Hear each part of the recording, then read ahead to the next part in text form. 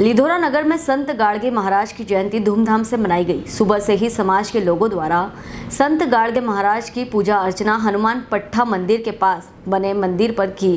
एवं समाज के सभी युवाओं ने बाइक रैली निकाली। जो तलैया मंदिर से शुरू हुई एवं अंबेडकर चौराहे पर समाज के लोगों द्वारा संविधान की रचयिता बाबा साहेब भीमराव अंबेडकर की प्रतिमा पर पुष्पमाला अर्पित किए।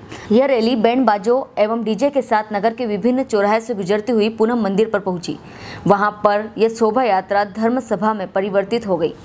वहाँ पर समाज के लोगों ने समाज में गठित रहने और गरीब लोगों को सहयोग देने के लिए बल दिया। इस मौके पर समाज के सैकड़ों लोग उपस्थित रहे। लिधोरा से शिवम गुप्ता की रिपोर्ट। हेलो फ्रेंड्स आप देख रहे हैं हमारा channel S W twenty four news हमारे सारे वीडियो सबसे पहले देखने के लिए आप हमारे चैनल को सब्सक्राइब करें और पास में लगे बेल आइकोन को दबाना बिल्कुल भी ना भूलें।